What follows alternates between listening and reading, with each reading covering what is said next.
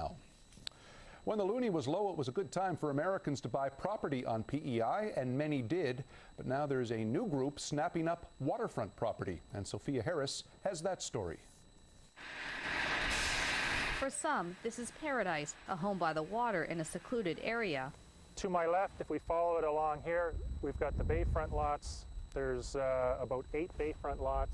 This real estate agent shows off Sunbury Cove Estates. The subdivision will feature large homes on the south shore. All the lots have a beautiful water view of Confederation Bridge, New Brunswick.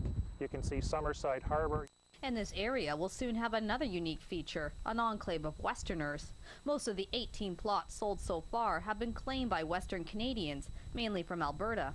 A lot of people now are nearing retirement. A lot of them are looking to invest in real estate, uh, waterfront real estate, and in uh, British Columbia, for instance, uh, waterfront property you can't touch for under a million dollars these days.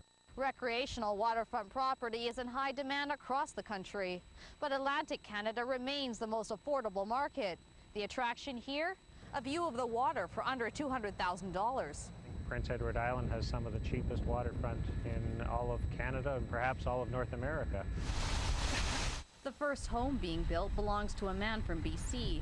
Developer Bill Harnett says the buyer will probably retire here. Why would someone from the West want to retire out here? capitalize on the equity they have in their homes out there. Real estate values have gone up so high uh, the last four or five years out there that they can uh, take that money and invest it on this coast and have an early retirement. But Western retirees won't make up the entire neighborhood. Craig Demchuk recently moved here from Alberta.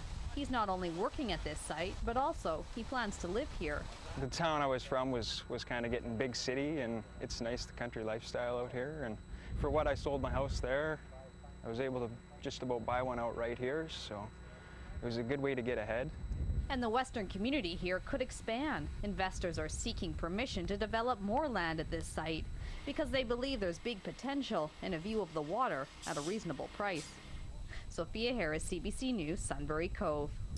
Nearly 8,000 tourists will not be coming to Prince Edward